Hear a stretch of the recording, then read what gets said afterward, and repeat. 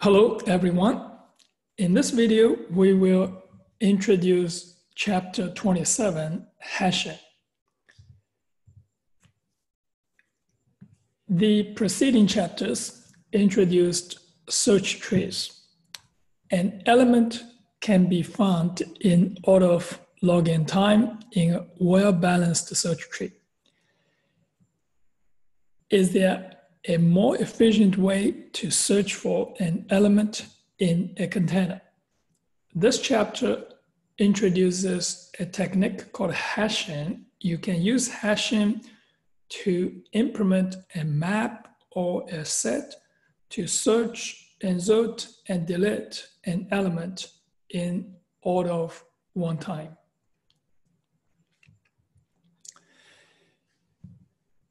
Please recall that a map is a data structure that stores entries. Each entry contains two parts, key and value. The key is also called a search key, which is used to search for the corresponding value.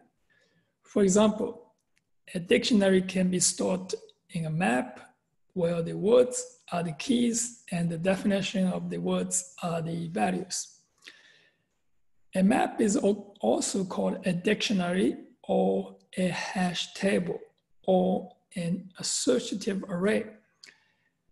The new trend is to use the term map. What is hash? If you know the index of an element in the array, you can retrieve the element using the index in order of one time. So you can store the values in an array and use the key as the index to find the value. So can we do this can we store the values in an array and use the key as the index to find the value? The answer is yes, if you can map a key to an index. The array that stores the values is called a hash table. The function that maps a key to an index in the hash table is called a hash function. Hashing is a technique that retrieves the value using the index obtained from key without performing a search. Let's look at this diagram. We're going to have this hash function and hash code. In Java, every object has the hash code method that returns an integer value. This value is called a hash code. And this hash code can then be compressed to the hash table. So here's the, you're going to have a hash code and then have this hash code compressed into the index i. So this is from the key map it to the index on the table. This is the entry. The entry is stored at this location at index i and for the key with this hash code value. Now, what happens when you have this hash function and the hash function maps multiple keys to the same location, this will cause a collision. We can process the collision using an approach called linear probing. Let's look at this example suppose we have the uh, table size is 11. So the index is from 0 to 10.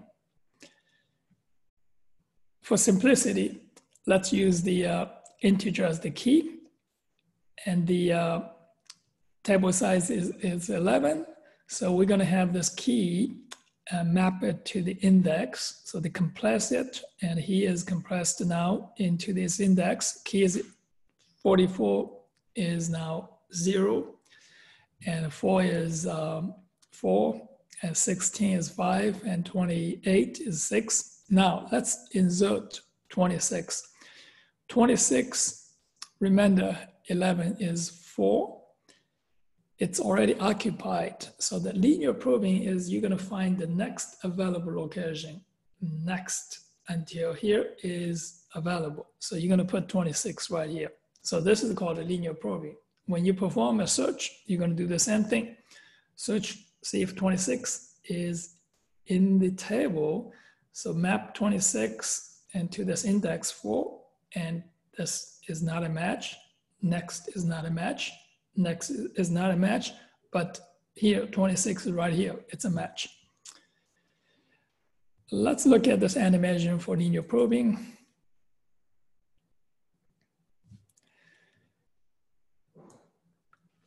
We're gonna insert 26. Insert 26. Now you see 26 is I put this uh, search key in the wrong place. This is the uh, table size, so that is uh, not right. So let's do this, uh, um, go back to this table size and to back to the uh, 11. So the put the key right here, 26. Now 26 is here. In this animation, you can change the table size. The initial size now is 11. And the uh, if you have more keys and the table size will be automatically changed here is um, look at this table size is 11 number of the keys right now is uh, six the current load so the load is this 55% means this table is 55% of full there's a load factor threshold is 75%. That means the maximum you can have is 75%. If, if you have more keys to put into the table that exceeds the threshold, and then you have to perform internally, increase the size of the table and rehash the keys.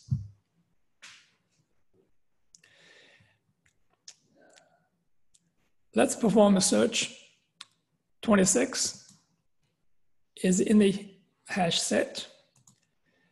Let's see 11. Search for 11 and 11 is not in the hash set. So what do we do is here and I go to uh, 11, it's mapped to this index zero and this is 44, not 11. The next one is nothing empty, so there's no more to search. So 11 is not in the set. All right, so now I'm gonna delete 16. So I'm gonna have this 16 delete, remove, remove 16. Now, when you remove it, you're gonna put the special marker.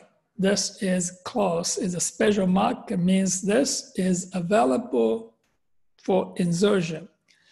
But when you perform a search, you have to continue to search the next location after this marker. So now we're gonna search for this 26, and you're gonna see 26 mapped to this index four, no match. And then this is available location, and but it's not empty. So you have to go down to search for the next one, see uh, six, index 6, no match, and now this is 26. So this is to perform a search.